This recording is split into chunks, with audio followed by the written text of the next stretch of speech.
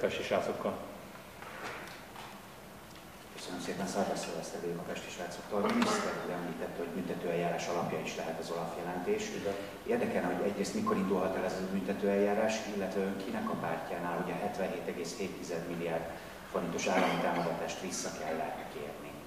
A, én följelentést tettem az alapjelentés alapján a kormány döntése okán. Ugye a kormány megtárgyalta az alapjelentést, arra utasított, hogy tegyek büntető följelentést, a büntető följelentést megtárgyaltam, megtettem, és arról tájékoztatott a legfőbb ügyészség, hogy a nyomozást ismeretlen tettesen el is rendelték. Tehát az alapjelentésben foglaltak miatt jelen pillanatban nyomozás van folyamatban. Vagy azért, mert korábban már nyomozás volt ezekben az ügyekben, vagy azért, mert most rendelték el az alapjelentés megismerését követően.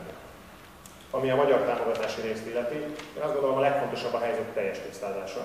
Most az Európai Unió csalás elleni hivatala minden kétséget kizáróan tisztázta annak az 59 milliárdnyi Európai Uniós támogatásnak a helyzetét, ami a 166 milliárdos csalás e, Európai Uniós támogatási része.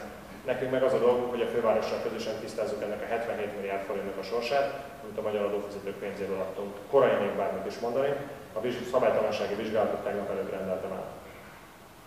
Ezzel kapcsolatban még mi a véleménye arról, hogy az MSZP szerint férc munka az Olaf jelentés, abban nincsenek konkrétumok? Hát a, az Olaf a jelentés összegzését hozza nyilvánosságra, négy évnyi munka alapján jutott ezekre a megállapításokra. Nyilván az Olaf több ezer dokumentumot vizsgált át. Az az érdekes, hogy az Olaf jelentés az ellenzék számára biblia, hogyha Fideszes vagy Fideszes közeli önkormányzatot hibáznak, de az Olaf jelentés ezek szerint félcmű, hogyha teljes SZDSZ-es elit vagy az MSZP-s elit eh, korrupciójáról van szó. Köszönöm szépen. Kormányzati szinten még nem nagyon reagáltak Gyurcsány Ferenc hétvégére